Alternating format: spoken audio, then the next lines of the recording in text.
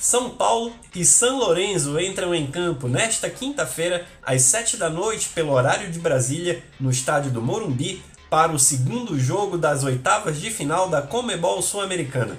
A partida terá transmissão da ESPN e do Star Plus, com o acompanhamento em tempo real pelo placar UOL. No primeiro jogo no Novo Gasômetro, o São Lourenço venceu por 1 a 0. Por isso, os argentinos jogam pelo empate para garantirem uma vaga nas quartas de final. Já o São Paulo precisa vencer por dois gols de diferença no tempo normal para conseguir a classificação. Caso a vitória do tricolor paulista seja por um gol de saldo, a vaga será decidida nas penalidades máximas.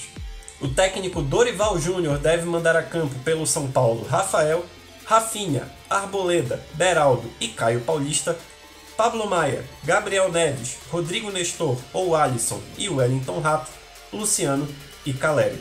Lembrando que o São Paulo ainda não poderá contar com Rames Rodrigues e Lucas Moura, ambos ainda não foram inscritos na Copa Sul-Americana. Caso o tricolor avance para a próxima fase, eles poderão constar na lista de jogadores aptos. Já o São Lourenço do técnico Rubem Insua deve ir a campo com Batalha, Rafael Pérez, Gaston Campi e Gaston Hernandes, Giai, Elias, Maroni e Braida, Leguissamon, Bareiro e Barrios. A arbitragem do duelo fica por conta de Esteban Ostoit, do Uruguai. Mais de 44 mil ingressos já foram comercializados, segundo a última parcial divulgada pelo São Paulo Futebol Clube para esse grande jogo.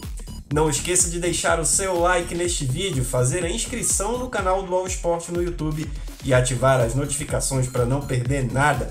Lembrando que toda a repercussão da rodada você confere no de primeira, de segunda a sexta às 11 da manhã e também no fim de papo às 6 da tarde. Agora comenta aqui embaixo quem vai garantir a vaga nas quartas da Sula, São Paulo ou São Lourenço? Diz para mim. Qual?